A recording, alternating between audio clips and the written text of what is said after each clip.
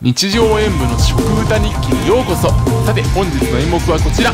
それでは演舞開演。こちらミスタードーナツの新商品。チョコマフィンバターマフィン。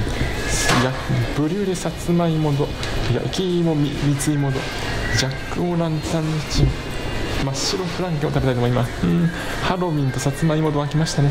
マフィンの方は先日 SNS の方で私の動画を見てくださっているある方が書かれていてと知りました。なのでいただきますね。あ他にもさつまいもとかハロウィンドーナツとかあるじゃんと思われるかもしれませんがそれらは以前食べていますので今回はパスにしています。同じのを食べるのってあまりしないんですよね自分は。それでは。チャンネル登録よろしくお願いします。これが三つさつまいもドーナツからいただきます。今回全部食べてから感想を一気にいきますね。それでは。うーんどれも甘くてさっくりしてて。いや美味しいです。だけどどこか香ばしさや優しさも感じられますね。さつまいもは甘くてバターもそこまでバーンとはきませんね。少し心が落ち着くというかそんな気がします。一方でチョコは結構パンチが効いていますね。苦味が口の中にブワッと広がってきます。一方 ハロウィンドーナツは結構生地とチョコの相性がいいですね。さらにトッピングもしっかり。ただマフィンは少し問題がありますね。後で説明しますけど。ではさつまいもどやっぱりこれが秋はさつまいもですよね。甘くてカリカリで本当にたまりません。また来年の新作も楽しみです。2種類のさつまいもドーナツはどちらも今年の焼き芋であるがゆえか今までのさつまいもドーナツよりも甘さが強かったですね。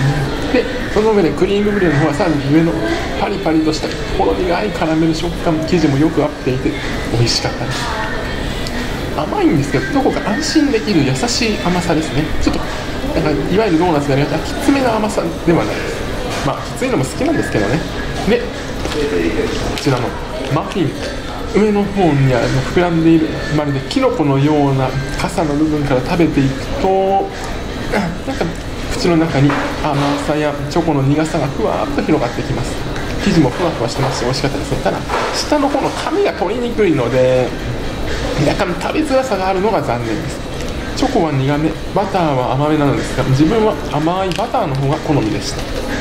でハロウィンドーナツ2種はどちらもトッピングがカリカリしたチョコレートで生地がしっとりサクサクで2つに分かれていますがどちらの生地ともよく合っていましたストロベリーの甘酸っぱさもいいのですがホワイトのシンプルなミルク感もマックスで高かったですね。というわけで今回6種類食べたわけですけどこの中だとハロウィンドーナツのではうん真っ白フランケンイーストブル生地のドーナツをマフィン2種類のチョコとバターのマフィンでは先ほども言ったようにマフィンをさつまいもドーナツではカラメルドーナツの方をおすすめします、まあ、あくまで自分の感想ですよ。というわけで今回は自分の中では先ほど挙げた3つを代表して5点とさせていただきます。ご視聴ありがとうございました。コメントしていただけるとそしてよろしければ他の動画も見ていただけると動画を拡散していただけると嬉しいです。演舞終了。本日の演目はお楽しみいただけましたか？チャンネル登録コメント高評価していただけますと嬉しいです。ではまた明日の演目でお会いしましょう。それではさようなら。